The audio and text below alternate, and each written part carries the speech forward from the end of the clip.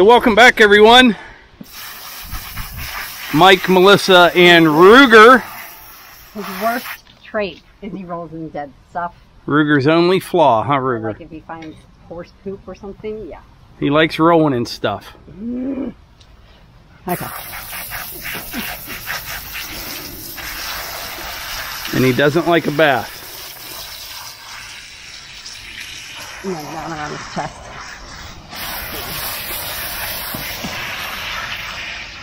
On his neck here. His Oh, okay. ear.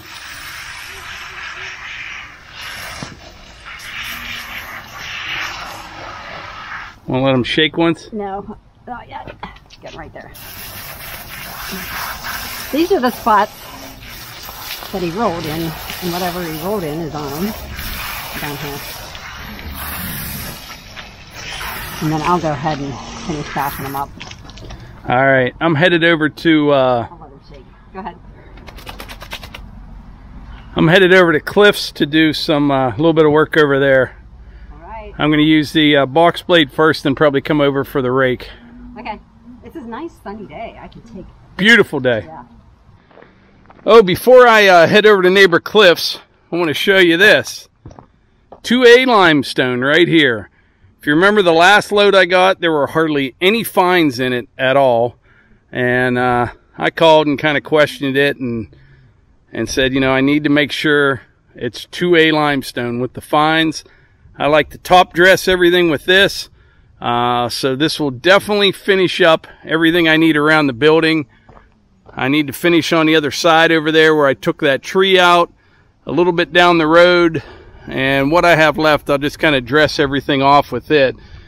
But yeah, there's definitely fines in this stuff. This will pack really, really well. Should work out great. Oh, and also I think I'm going to be getting some of the best stone you can get, and that is some freestone. Uh, my buddy Adam, that's the guy I get the uh, IBC totes from.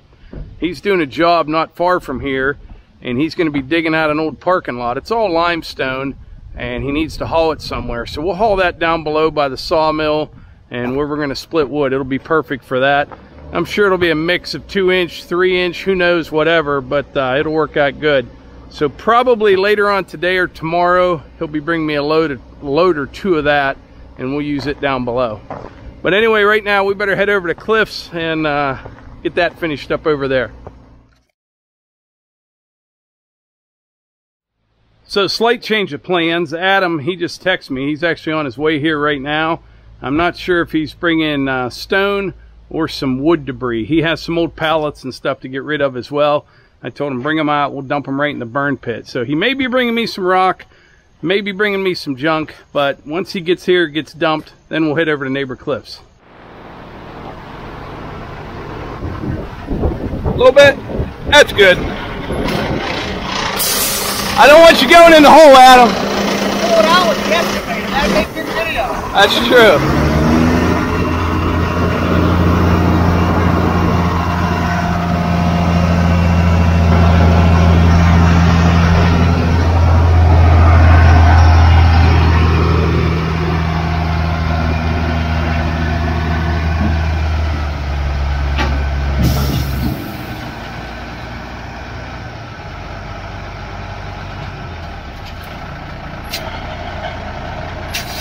So yeah, this is Adam Fisher. This is who I get the uh, IBC totes from. It's a nice truck, real nice single axle. So I was just saying, you're the guy I get the IBC totes off of, but uh, you're into everything now. A little bit. A little bit.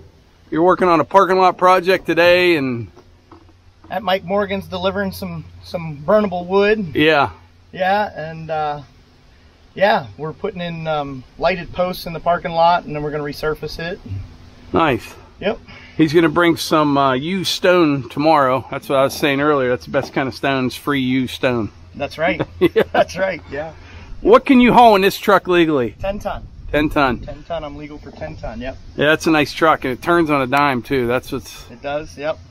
This one, uh, when I was looking, I was I wasn't really looking. And this showed up on Facebook, and I saw it, and it was sitting there for a couple of days, and I called about it, talked to the guy that owned it, and uh, I found out it was air ride suspension. And these little short trucks normally ride rough, right?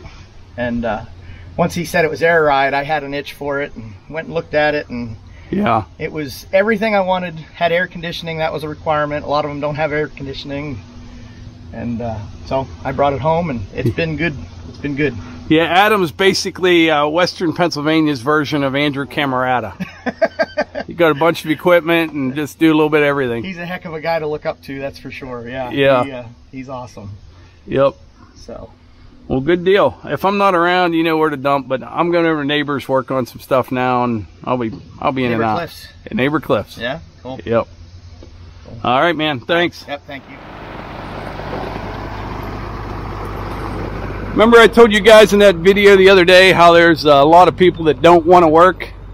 Well, he's not one of those guys right there. Adam's a hustler. Good guy.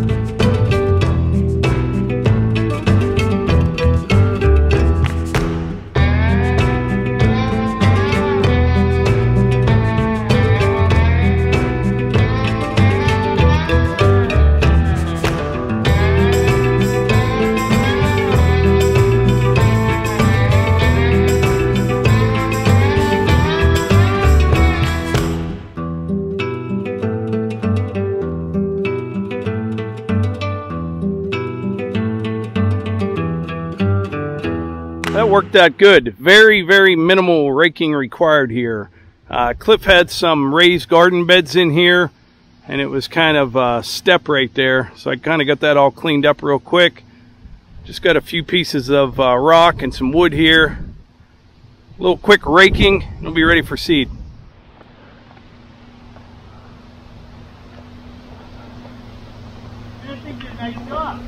That's the operator, Cliff. All right, Cliff's gonna rake that out, put some seed on it, and uh, once he gets that uh, 2B limestone here, he'll give me a call. We'll come back and uh, finish up that French drain from the other day. All right, I uh, I got back from neighbor Cliff's, Melissa, uh, where he had those raised planters, Yeah. raised garden beds. He took them out, fixed all that up. He's raking it, seeding it now. Has a little bit of stone coming to finish up that drain. Right. Uh, so before that happens, I may spread, finish up that side of the building. Okay. But Ty, he's got a shiner, huh, Ty? Got a bit of a black eye. He fell the other day down at their place and uh, hit his head on a table. But uh, I just want to talk about it. pretty tough nut, huh? What do you think, Ty? Want to give me a fist bump? Boom. I believe he understands that this is doing video and that he will be on the TV at his house. Yeah, I do too. I'm kept pulling his hat down. All right. Just tell him you should see the other guy. You should see the other guy, huh? Whew. All right, I got back from uh, Neighbor Cliffs a while ago. I was working inside some, and I just called him. He has not gotten his stone yet. Uh, so while we're waiting for that, I'm going to finish this up right here. Uh, if you remember, this is where I took that tree out the other day. I widened all this out, uh, but I need a little bit more stone here and down this road. So we'll take care of that right now. And I think this would be a great spot for like a, uh, a nice firewood rack or something right here.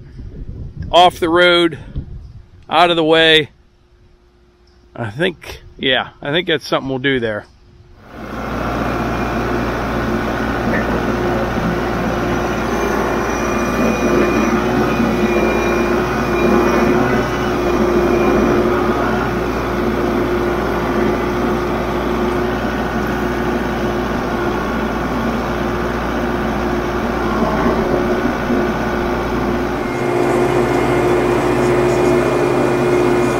Yeah, this stuff here, this stuff here is pretty nice. This has the, uh, this has all the dust in it like we like. It'll pack in real good.